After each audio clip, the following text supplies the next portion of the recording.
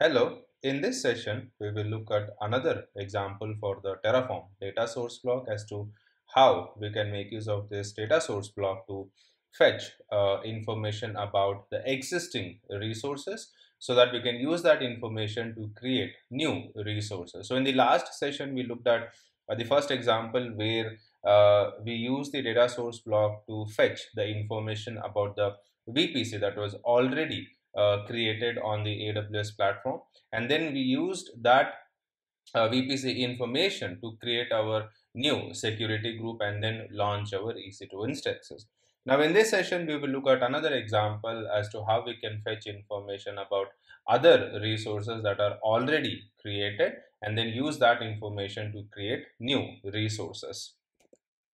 So here uh, I have again I have my data block the main.tf provider terraform.tfvars and the variables.tfvars so basically we have broken down the uh, configuration file into uh, its respective uh, blocks. So let's create these files on the server. So here I'll create a data.tf we'll create a main.tf uh, we'll create a provider.tf then I'll create the variables.tf and then the terraform.tf vars where my variables will be available. So first in the uh, provider block, we will uh, give our uh, provider uh, information.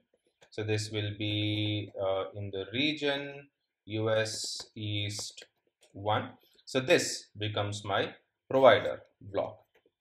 Then uh, we will define our data block. Now in the data block, here this is the information we are going to use. So what we are doing here is I've defined three data block, one for the subnet, one for the security group, and the one for the key pair. So now this means all these information are already available on the console. So for example, here if you can see, uh, this is the subnet. Now by default, if you don't specify the subnet, then AWS will choose one of these subnets to launch our instances.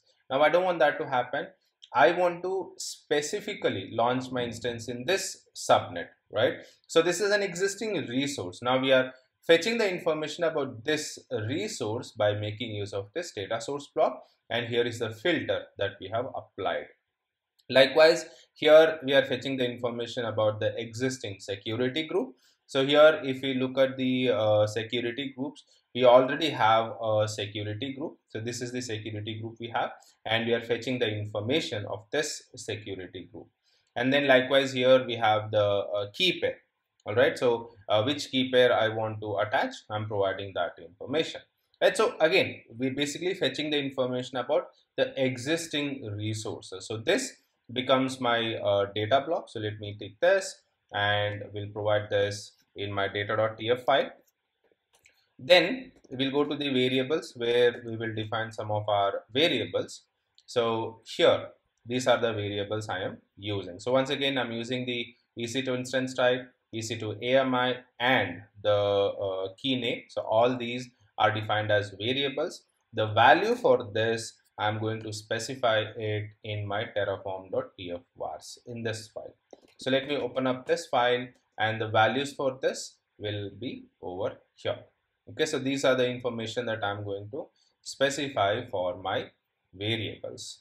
Okay and then finally comes my main.tf file where we are going to create our resources. So here this is what we are doing. So we are only creating one ec2 instance. And if you can look at the code you will see that uh, for the instance type we are picking it from the variable. For the ami we are picking it from the variable. For the security group we are calling the data block. So data.aws underscore underscore security group.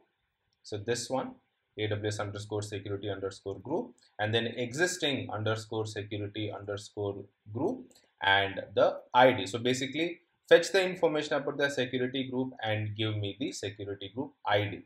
Likewise, this is the subnet ID where we are fetching the ID information from here and then this is the key name which we are fetching from here.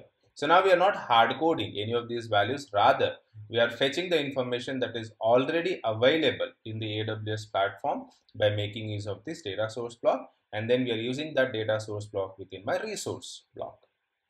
So let's execute this. So we'll first initialize the code.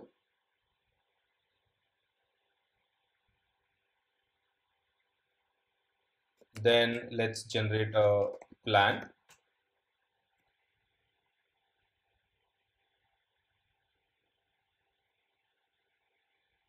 okay I may not have that key pair let me quickly confirm my key pair okay so this is the key pair I have. So let me update here. Okay so basically I don't have this key pair so my key pair name is new key. Okay so that's the key pair so I'll save this and we'll generate the plan once again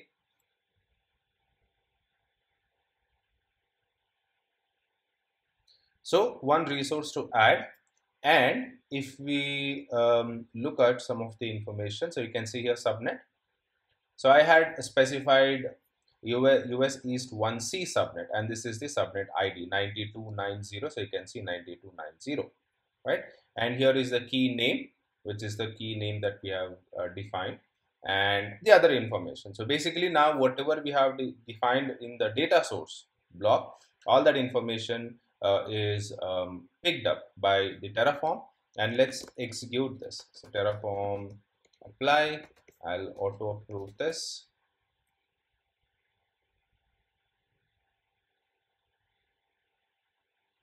and this will launch the EC2 instance for us. And we should be able to validate. So here, if I go back to my instances, you will see that, so here the instance is pending. However, if you look at the subnet, so you can see this one, 9290, which is the US East 1C subnet. And likewise, if we uh, look at the key pair, so here you can see this is the key pair that we have referred. And also the uh, security group you will see we are pointing to this security group. So basically what we have done here is we already have the resources. We are referring those resources we are fetching the information about those resources by making use of the data source block so this is how we can make use of the data source block at any time when you want to fetch the information about the existing resources. That is, you want to read the information about the existing resources and then use that information within new resources that you want to create. This is where we make use of the data source block. That's all for this uh, session that completes your uh, data source. Thank you. Once again, before you leave, please don't forget to subscribe to the channel and if you like the video, leave a like and please share the video.